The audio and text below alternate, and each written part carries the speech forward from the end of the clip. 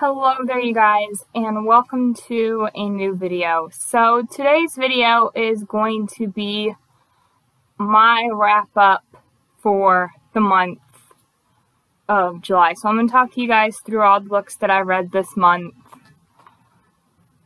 And yeah, let's get started. So in the month of July I read a total of five books, which is roughly my average sort of reading month. I can average about roughly five books per month. This was, July was actually my first month, full month of working full time. So it was a bit of an adjustment month. Uh, July was also my birthday month. And one of the books that I did read this month, I actually got for my birthday, actually as a birthday gift to myself because there wasn't anything going to stop me from reading this book. So, yeah, I'll talk to you guys through all the books. So, the first book that I read this month was actually the first volume of Attack on Titan. And for those of you who don't know what Attack on Titan is, Attack on Titan is a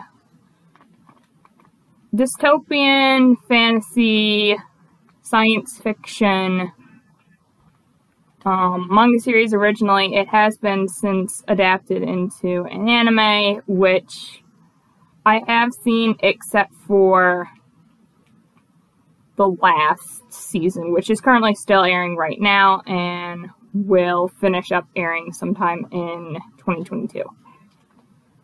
So, but I decided that, you know, since this anime is one of my favorites, I decided that I was going to read read the first read the first volume and kind of notice the some of the similarities and differences because I've seen the first season like a couple of times. So I, I read this book on my Kindle. I'm sorry I don't have it out in front of you to show you, but it's charging right now, so I'm not going to do that. I am going to put a photo of the cover the book.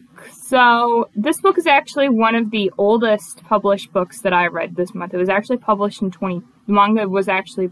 The first time when the manga was published in 2012, tied for another book that I also read for this month, the fullest publication date. So, let's go through CAWPILE scores for Attack on Titan. So, I gave Attack on Titan an 8 for characters, an 8 for atmosphere, an 8 for writing, an 8 for plot, a 10 for intrigue, an 8 for logic, and 9 for enjoyment, which roughly translates to how I felt about it when I was actually watching, you know, the the TV, the, the anime for the first time. I did really enjoy it. That's why my enjoyment is so high. And I did, the intrigue kind of did get me because I decided to rate this as how I would have felt when I was watching. If I had read it before I had watched it, I would have thought the intrigue was high, which it is. Now, since I've watched it and I've since watched the episode since, the intrigue is, of course, low because I already know what's going to happen. Um, I do think that those scores do reflect the rating for this book. So this book actually got, with those scores, it got an 8.43 out of 10, which means it's a 4 star. I definitely will be continuing with reading the manga to notice the differences, and I will also be continuing to, of course, watch the anime. It's one of my favorites. The second book that I read during the month of July, well, at least I recorded it second, is Thunderhead by Neal Shusterman. So this book is a book. I, of course, read this book physically since I do have a physical copy. Floppy paperback here. I do love floppy paperback. Um, this is a dystopian fantasy. So it essentially follows the characters from the first book, Scythe. I'm not going to give a synopsis um, because this is the second book in the series. Yeah, let's see if this rating got a different score than the first one. So I actually gave um, Thunderhead by Neal Shusterman an 8 for characters, a 9 for atmosphere, a 10 for writing, an 8 for plot, 9 for intrigue, logic, and enjoyment, which gave it an 8.86 out of 10, which is a 4 star. My TBR game for the month of July is different from the past because I decided that I was going to choose my books based off of prompts, which I did actually find to be really enjoyable, and it kind of allowed me to still choose what I wanted to read and still not choose what I wanted to read, if you know what I mean. It made my reading more enjoyable, and I actually got to read this book this month, and doing it that way with the reading prompts, I get to spread out my series more and then look forward to the next book when I get to it. It did get a four star for me. I think this came up for the prompt for five star prediction. So I'm actually bummed that it actually didn't get five stars. I'm very sad about that. And the reason is probably the characters. There is a character in this book that I particularly didn't enjoy very much, and he was kind of like an off-putting character. And every time like I read from him, like, can, can you please go away? Like, I didn't quite understood where he fit into the plot, and I kind of still don't. I'm hoping the third and final book will kind of resolve that issue for me. Um, I've heard from people that the third book is kind of hit or miss but we'll see. So I do have this book. I did read this book physically. Um, I of course will be continuing on with the third and final book since I'm I'm very close to the end since it is a trilogy. I wish I could give you guys a synopsis of the book, but alas, I can't. It's the second book in a, in a trilogy. So there's that book. The third book that I read this month was With the Fire on High by Elizabeth Acevedo. I also read this book on my Kindle as an ebook.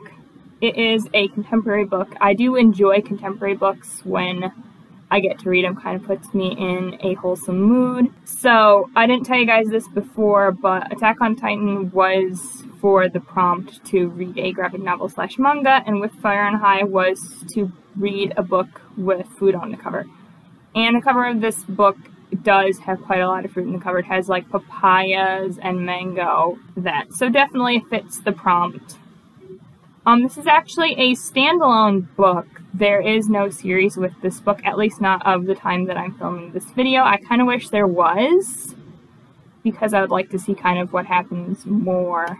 But anyways, CAWPILE rating. Um, I gave this book a 9 for characters, a 9 for atmosphere, a 10 for writing, an 8 for plot, an 8 for intrigue, a 9 for logic, and a 9 for enjoyment, which gives it an 8.86 out of 10, which is a which is a 4 star.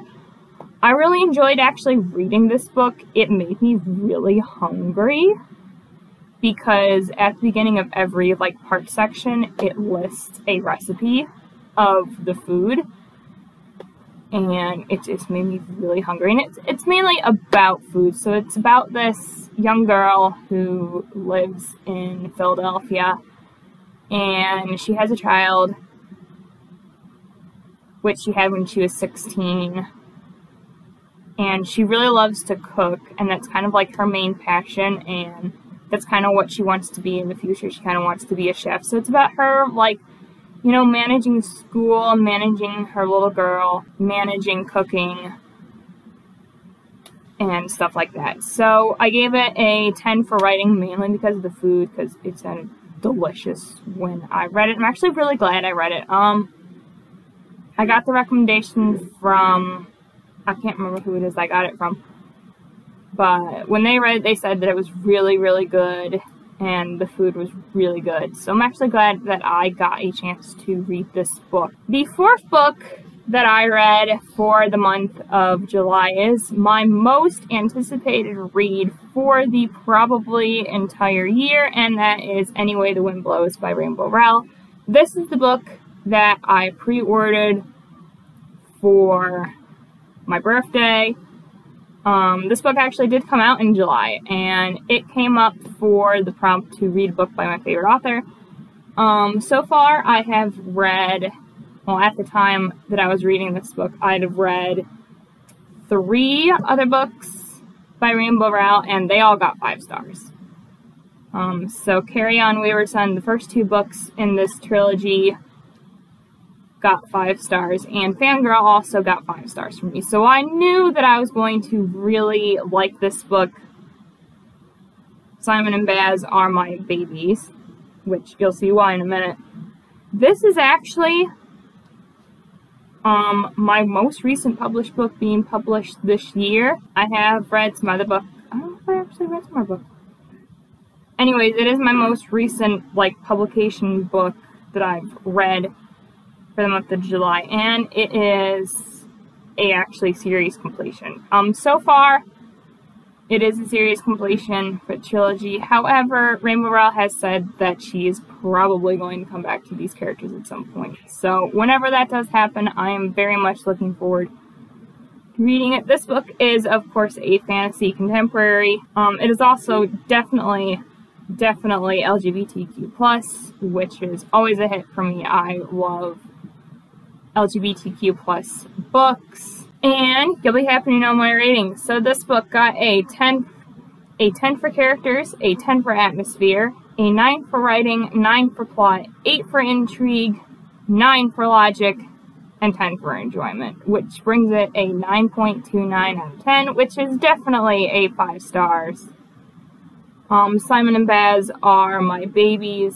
I will always rate them 5 stars it, it is a disappointment for me to give intrigue for this book an 8, but compared to the other two books in this series, the intrigue did sort of drop for me.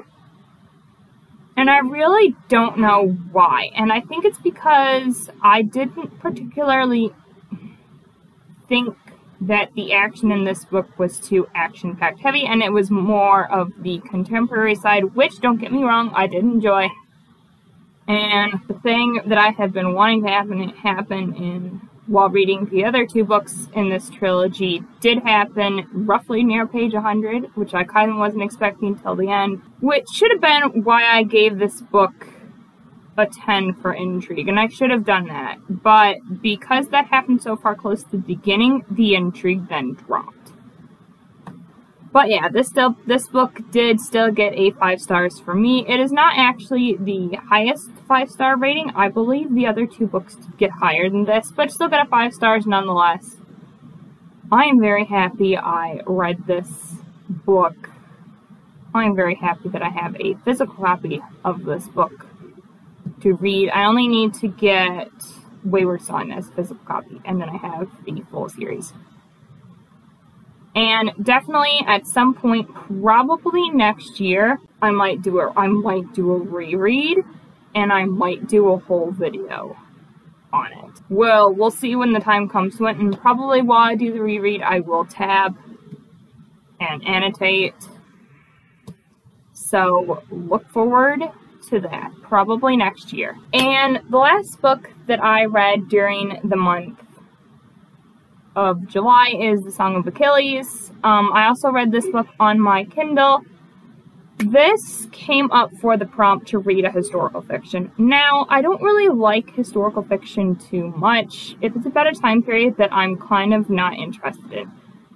And I decided to go with this historical fiction because it's Greek slash Roman mythology, since they're roughly similar. I'm actually very surprised with this book, and I'll tell you why in a second, but I'm very surprised about the rating it got. So this book is definitely a historical fiction. It is essentially a actually a retelling, which I didn't quite realize until I sort of got into it that it is a retelling. It is a Trojan War, Trojan history retelling. is actually a uh, retelling of the Iliad by Homer, which I believe that I did read when I was in middle school, high school, probably for English class. So I did know somewhat the story of Achilles but I kind of didn't know roughly sort of what it was about until I've read this. So it's not, I don't know how well the match it is a retelling to it since I read the Iliad so much more in the future. So I can't really give you guys an explanation as to like, you know, how it compares and where the, where the differences and such are to this book, and I wish I wish I could, but it is definitely a retelling. Um, it also has LGBTQ plus representation in it. Um, the two main characters, Achilles and Patroclus, are portrayed as being LGBT in this book. It is speculative as to where the history goes, whether or not that's actually true or not. From what I've read from online, historians are either one way or the other. But my CAWPILE rating. So this book, I gave it a 10 for characters. Any book where the LGBTQ plus representation with two boys, it's going to get a 10 out of 10 for me, hands down. I gave it a 9 for atmosphere, a 9 for writing. I, I gave this book a 7 for plot. And that's sort of because the actual plot of the Iliad, like the main battle fight scene, doesn't have until the end. It's mainly about them going through training and stuff, which I kind of really didn't like as so much sort of the plot, and I was looking for more action.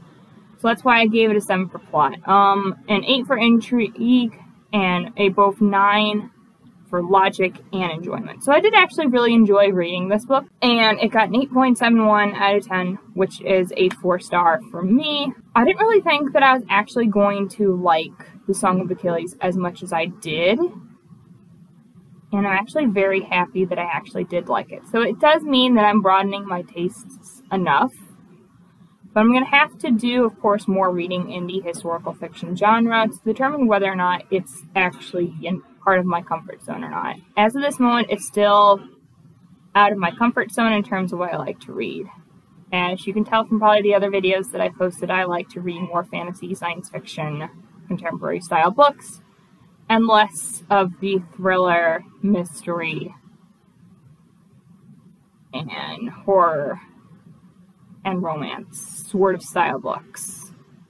At least more of the adult style romance that is going to be it for my video today, guys. If you liked it, please give this video a like and comment down below what you guys actually read in July. I'm I know I'm posting this kind of late, but you know, that's sort of how the month of July went for me. It was very busy with me trying to juggle everything. So with work, I still haven't juggled everything still with work. So my videos are going to be a little bit sporadic for a while until I find a method that works for me. At least I'm getting some reading done, so my Goodreads goal I'm actually like 10 books away from. And I might actually end up completing it in September. And I was supposed to years, so definitely look forward to my videos towards the end of the year where I do end of the year wrap ups and stuff like that. Thank you guys so much for watching this video. If you did, please remember to give this video a like and a subscribe. Comment down below what you guys read in the month of July. Remember, guys, we are the one within the all. Now, speak to you guys in my next video.